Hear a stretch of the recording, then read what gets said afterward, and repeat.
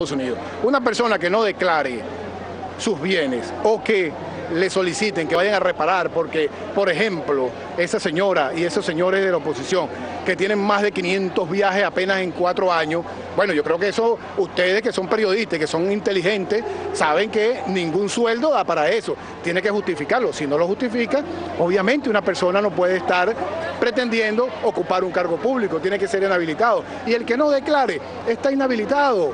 Eso es, eso es la ley de la República. Hay personas que son de nosotros también, que no declararon porque se le olvidó, porque no hicieron la cuestión a tiempo, porque no hicieron el reparo a tiempo y están inhabilitados. Y nosotros no andamos llorando ni arrastrándonos en el piso porque sencillamente ese compañero no cumplió y tiene que apegarse a las leyes de la República. Haya quien defienda a estos señores vagabundos y vagabundas que no declararon a el Fisco Nacional y no declararon ante la Contraloría General de la República ni ante la Secretaría de la Asamblea Nacional. Pídanle cuenta, ustedes que son periodistas deberían pedirle cuenta a esa señora, en vez de estarnos preguntando a nosotros, decirle por qué usted no declaró porque usted tiene 300 viajes al extranjero y de dónde sacó los reales. Deberían preguntarle eso. Porque usted tiene una cuenta 500 mil dólares, porque usted tiene una cuenta de 2 millones de dólares, ¿de dónde lo sacaron? Ese debe ser un trabajo de investigación, es una sugerencia pequeña que le hago a los periodistas para que cuando le pongan el micrófono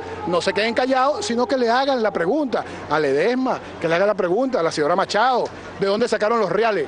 Eso yo creo que debe ser un proceso de investigación profundo para que el pueblo de Venezuela se dé cuenta por qué están inhabilitados. Están bien inhabilitados el que no declaró y el que no ha justificado los bienes que disfrutan a costillas de los venezolanos. Diputado, ¿cuál será el manejo discursivo del PSUV eh, frente a lo que está ocurriendo ahorita con el problema de la economía y los problemas que acontecen en el Se está manejando un